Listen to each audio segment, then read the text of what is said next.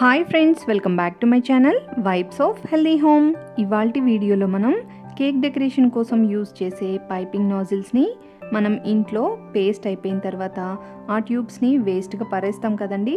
వాటిని పారేయకుండా వాటితో ఎలా ప్రిపేర్ చేసుకోవాలో చూద్దామండి. అలానే ఎవరైనా మన ఛానల్ని సబ్స్క్రైబ్ చేసుకోకపోతే ప్లీజ్ సబ్స్క్రైబ్ చేసుకోండి. పక్కనున్న గంట సింబల్ క్లిక్ చేస్తే నేను చేసే ప్రతి వీడియో మీకు నోటిఫికేషన్ రూపంలో వస్తుంది. ఇప్పుడు మనం వీటిని ఎలా ప్రిపేర్ చేసుకోవాలో చూద్దామండి. ముందుగా మనం అయిపోయిన రెండు ఖాళీ పేస్ట్ ట్యూబుల్ని తీసుకోవాలి. ఒక్కొక్క దాని నుంచి మనం రెండు నాజిల్స్ ప్రిపేర్ చేసుకోవచ్చండి. ఇప్పుడు మనం దీన్ని చివర కట్ చేసుకోవాలి.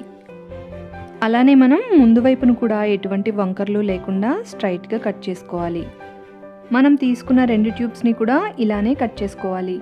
ఇలా కట్ చేసుకున్న తర్వాత మనం వీటిని వాటర్తో పేస్ట్ లేకుండా బాగా క్లీన్ చేసుకోవాలి. వాటర్తో బాగా క్లీన్ చేసిన తర్వాత దీన్ని మనం ఇంకొక సైడ్ కూడా ఈ విధంగా కట్ చేసుకోవాలి. వీటిని వాటర్తో బాగా క్లీన్ చేసుకుని కట్ చేసుకున్న తర్వాత దీని నుంచి పేస్ట్ వాసన అనేది రాకుండా వేడి నీళ్ళల్లో ఒక అరచక్క నిమ్మరసం పిండుకోవాలండి. నిమ్మరసం పిండిన తర్వాత ఈ వాటర్లో మనం కట్ చేసుకున్న వాటిని వేసి ఒక ఇరవై నిమిషాలు పక్కన పెట్టుకోవాలి. వీటిని నీళ్ళల్లో వేసినప్పుడు ఇవి మునిగేలాగా వేయాలండి. అలా అయితే మనకి పేస్ట్ వాసన అనేది రాకుండా ఉంటుంది. ఒక ఇరవై నిమిషాల తర్వాత వీటిని బయటికి తీసి పొడి క్లాత్తో వాటర్ అనేది లేకుండా నీట్గా తుడుచుకోవాలి.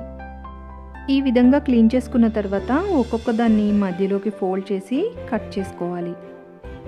వీటిని ఫోల్డ్ చేసుకున్నప్పుడు అంచులు రెండు ఈక్వల్గా వచ్చేలాగా ఫోల్డ్ చేసుకుని నీట్గా ఎటువంటి వంకర్లు లేకుండా కట్ చేసుకోవాలి.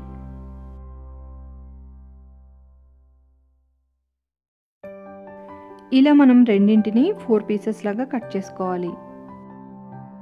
ఇప్పుడు మనం వీటితో నాజిల్స్ని ప్రిపేర్ చేసుకుందామండి. ముందుగా దీనిలో ఒక దానిని తీసుకోవాలి. ఇప్పుడు మనం దీన్ని ఒక కోన్ లాగా ఫోల్డ్ చేసుకోవాలి.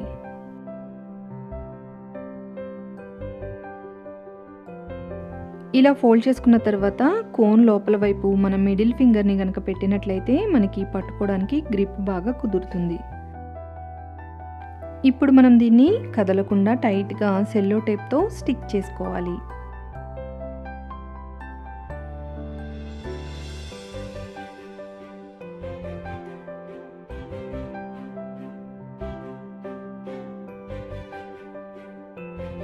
ఇలా స్టిక్ చేసుకున్న తర్వాత దీనికి రౌండ్గా చుట్టూ స్టిక్ చేసుకోవాలండి. ఇలా స్టిక్ చేసుకున్నట్లయితే మనకి లేయర్స్ అనేవి కదిలిపోకుండా టైట్గా ఉంటుంది.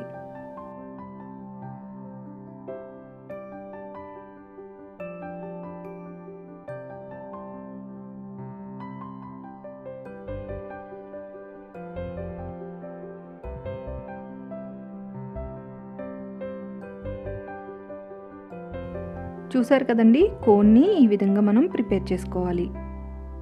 ఇదే విధంగా మిగిలిన వాటిని కూడా కోన్స్ లాగా ప్రిపేర్ చేసుకొని పెట్టుకోవాలి.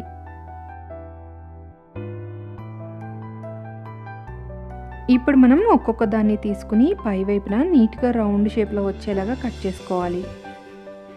బాగా ఎక్కువ కట్ చేసుకోవాల్సిన అవసరం లేదండి. లైట్గా అంటే మొత్తం అంతా ఈక్వల్గా ఉండేలా కట్ చేసుకుంటే సరిపోతుంది.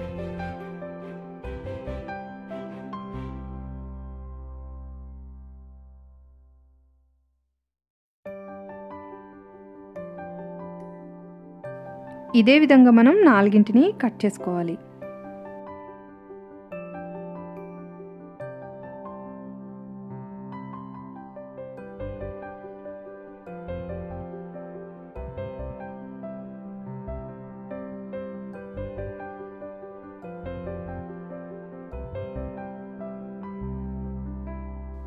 చూసారు కదండి మనకి నాలుగు కోన్స్ కూడా రెడీ అయిపోయాయి.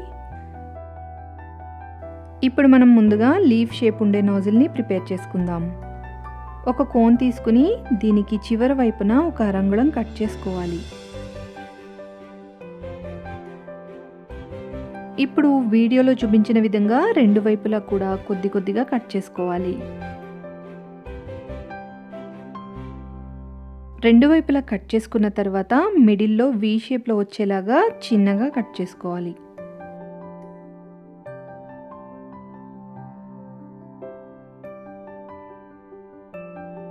చూసారు కదండి వీ షేప్లో వచ్చింది. ఇదే విధంగా రెండో వైపు లేయర్ని కూడా కట్ చేసుకోవాలి.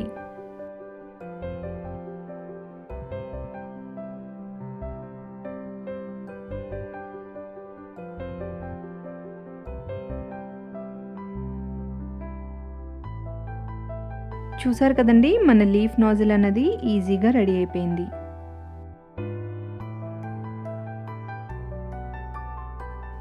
ఇప్పుడు మనం ఇంకొక కోన్ని తీసుకుని రోజ్ నాజిల్ని ప్రిపేర్ చేసుకుందాం. దీనికి కూడా మనం చివరి వైపున ఒక అరంగుళం కన్నా కొంచెం తక్కువగా కట్ చేసుకోవాలి. ఎందుకంటే దీనికి హోల్ కొంచెం చిన్నగా ఉండాలి. ఇలా కట్ చేసుకున్న తర్వాత దీన్ని మనం సైడ్ నుంచి క్రాస్గా కొంచెం కట్ చేసుకోవాలి.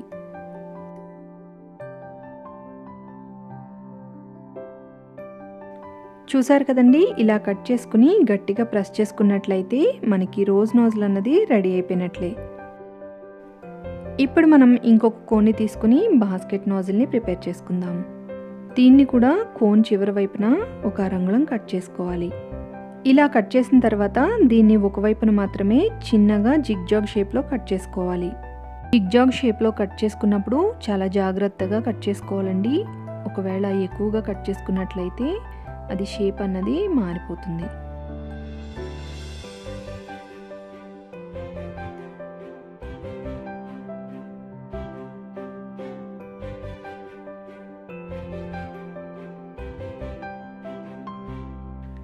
ఇలా కట్ చేసుకుని గట్టిగా ప్రెస్ చేసుకున్నట్లయితే మనకి బాస్కెట్ నాజిల్ అన్నది కూడా రెడీ అయిపోయిందండి. ఇప్పుడు మనం ఇంకొక కోన్ని తీసుకుని స్టార్ నాజిల్ని ప్రిపేర్ చేసుకుందాం. దీనికి కూడా కోన్ చివరి వైపున ఒక అరంగుళం వరకు కట్ చేసుకోవాలి. ఇప్పుడు ఈ హోల్ని జిగ్జాగ్ షేప్లో కట్ చేసుకోవాలి. దీనికి జిగ్జాగ్ షేప్ అనేది బాస్కెట్ నాజిల్ కంటే కొంచెం పెద్దగానే రావాలి.